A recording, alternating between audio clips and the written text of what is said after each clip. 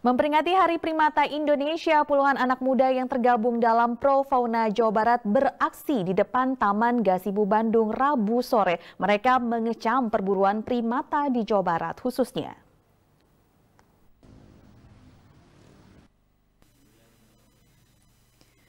Hari Primata Indonesia yang diperingati setiap 30 Januari diwarnai aksi di depan Taman Gasibu Bandung, depan Gedung Sate, Rabu sore.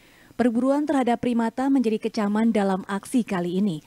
Menurut Koordinator Pro Fauna, Nadia Andriani, dari tahun ke tahun perburuan di Jawa Barat semakin meningkat, bukan hanya karena motif ekonomi, tapi juga hobi yang dilakukan dengan menggunakan senapan angin.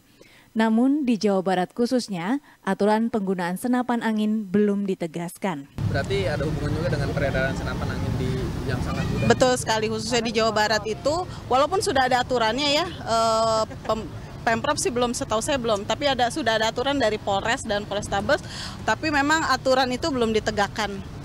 Seberapa besar ancamannya kepada satwa ini? Berapa persen?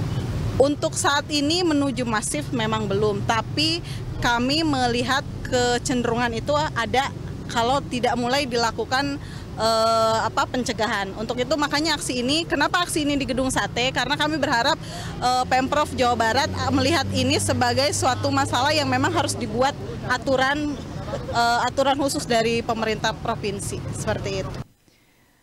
Saat ini di Jawa Barat, perburuan primata banyak terjadi di wilayah Sumedang, Tasikmalaya, hingga Kabupaten Bandung Barat.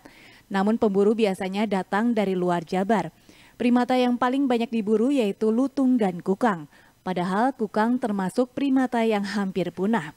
Ironisnya, selain untuk diperjualbelikan dan dipelihara, primata tersebut ditembak untuk kesenangan pribadi di media sosial.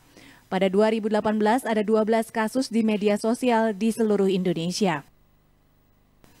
Jika primata punah, keberadaan hutan pun terancam karena fungsinya sebagai penyebar benih.